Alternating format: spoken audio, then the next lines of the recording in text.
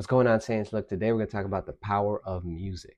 But before we do that, make sure you guys like, comment, subscribe if you get any value from this content. So here we go.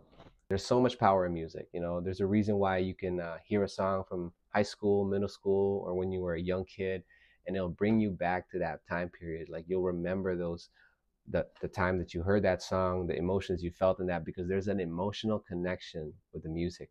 You know, it says it over here. It says music is often linked to personal identity. Music is emotional, and people remember emotional stimuli better than non-emotional stimuli. So there's a science behind this. You know, they talk about like neural connections in your hippocampus and all this. Like, I don't know the whole science behind it. I'm just doing a Google search, but uh, regardless, there's so much truth in that because I can hear a song that I heard, you know, when I first uh, fell in love, and it'll bring me back to that emotion. You know, uh, I can hear a song where I, when I broke up with my girl, and then uh, a song that was I was listening to at that time, and it'll help me feel those emotions again. And so I'm like, ooh, so um, so there's power in that music, you know. And so now as a as a follower of Christ, like it's so important what we listen to, because then it can bring us back to those emotions. And so if you've gone through a tough time, and then you've uh, you know God has delivered you, and you got a song that really like speaks to that. Next time you're going through a tough time you can listen to that song and that's gonna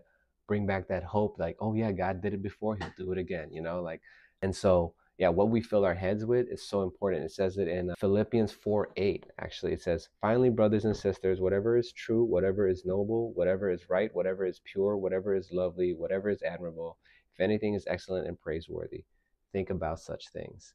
And so yeah it's good to think about those things um, but also to consciously, but it's also good to think about those things subconsciously. And how do we do that? By filling our minds with uh, God's word, songs that glorify God, that have powerful testimonies, you know, that are just, you know, pure and this like uh, glorifying God. And so, you know, then when you hear those songs, like there's certain songs in the in the worship songs that I'll hear and I'm like, oh yeah, I remember the first time I heard that song. It was powerful. So there's so much power in, in music, guys. And I just want to encourage you guys to take note of what you're listening to.